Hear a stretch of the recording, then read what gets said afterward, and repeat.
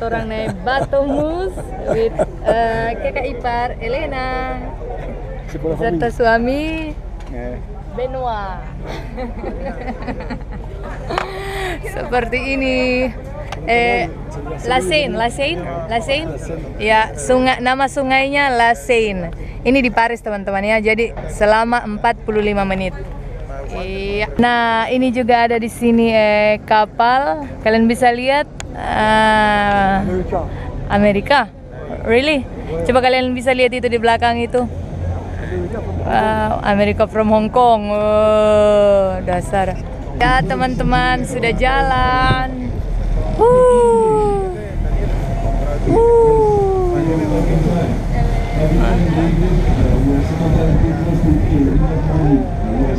Sangat menawan.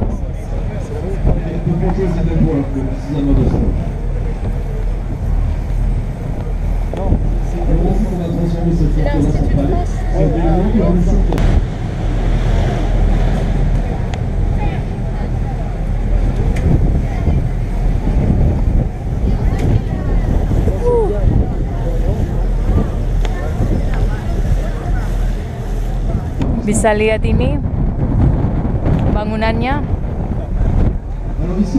sangat-sangat keren. Bangunannya di Paris. D'accord, c'était pour l'expo universelle. On l'a ensuite transformé donc, en musée au milieu des années 80. Voilà, ce qui explique du coup qu'on est sorti de l'île, de l'Est de l'Ouest. de Bruxelles. Orléans, Bourges, Poitiers, Limoges, Rodez, tout. So, Ashburn Street Ya. Nongte Bordeaux, Nongte Bordeaux. But the train is definitely into museum in the middle of the 80s. So you, this is where you can see some cities names all along the museum. Cities from West France. Now we will recognize Place Bleu. Everybody knows Bordeaux. Uh, keren teman-teman. Ya. Papa, here before they put the lock bridge, right? And then destroy, not not this one. And they say that one. Okay. Voila. Yeah, right? Yeah. You you say. No, that one over there. Là-bas.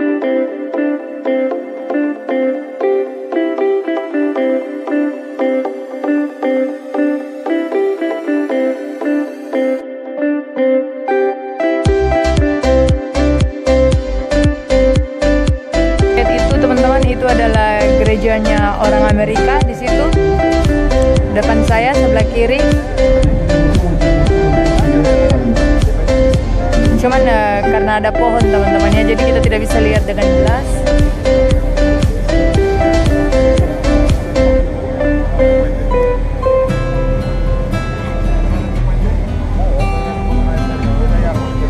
nah ini kapalnya juga bagus juga teman-teman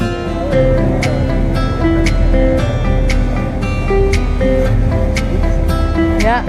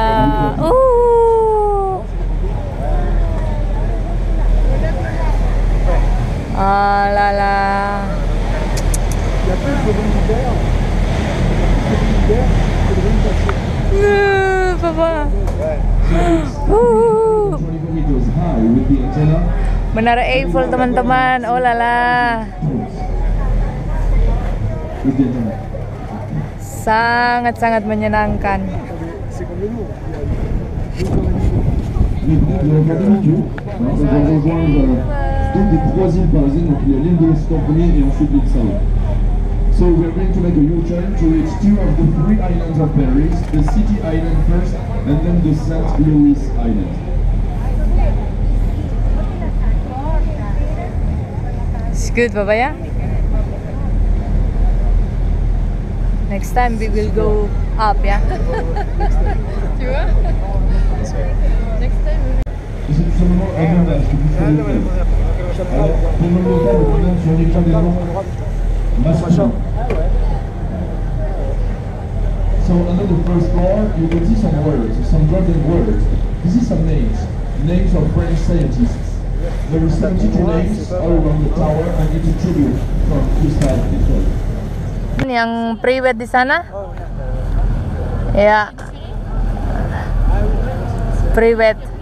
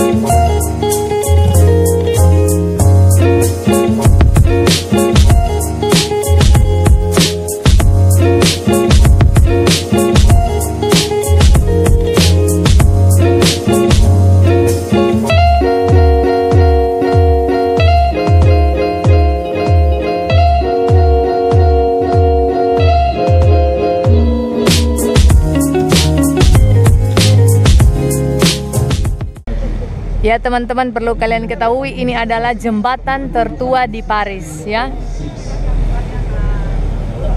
Jembatan tertua di Paris.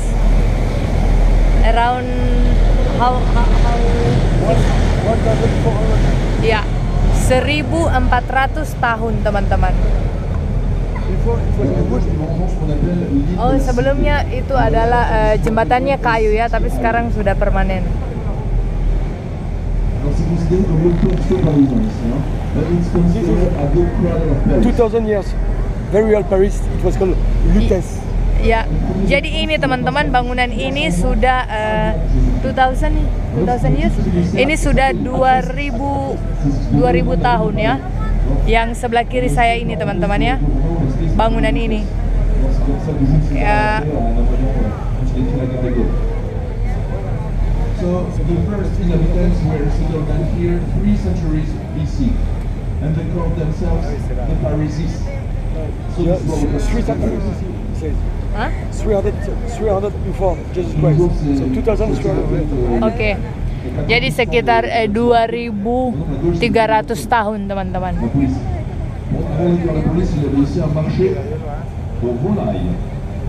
Wow. C'est ce qui a donné le surnom de France de l'Or. Ça vient de cet endroit. On marchait de volaille avant le quai des Nowadays on this island there is almost pose jamais la question, On the left, this is the, the police headquarter. A débuté en 1968. Iya teman-teman, kalian masih ingat yang kejadian kebakaran di gereja Katedral Notre Dame? Tinggal ini yang tersisa teman-temannya. Kalian bisa lihat bekas-bekasnya itu yang warna hitam.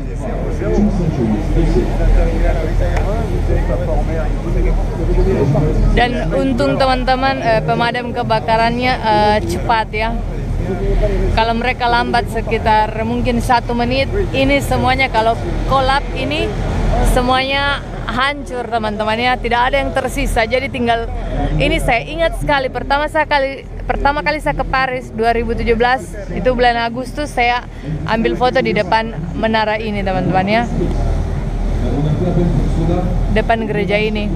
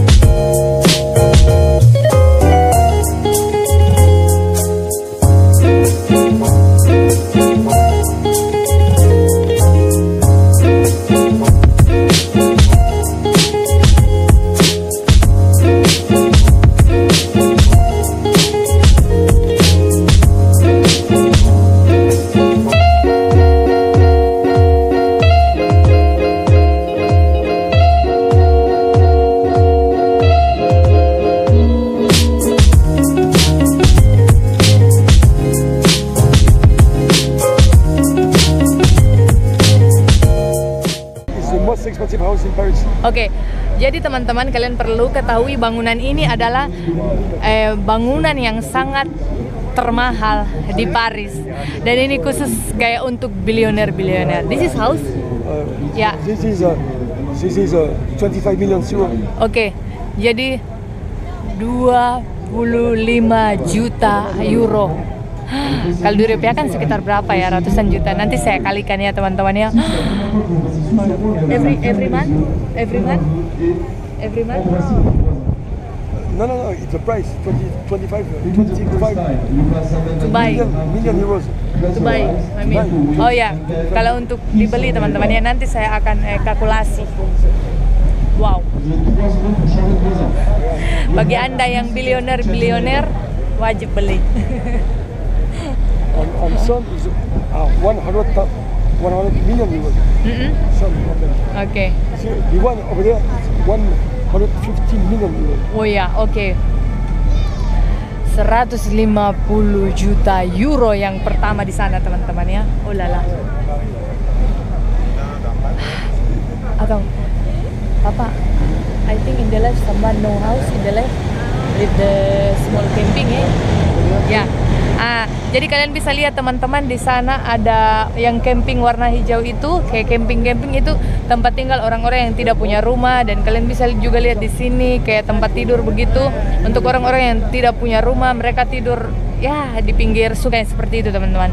Mereka bertenda, tidak ada rumah dan mereka itu adalah pendatang. Fun. Ya. It's nice. Hai teman-teman, sekarang saya lagi di restoran mau makan.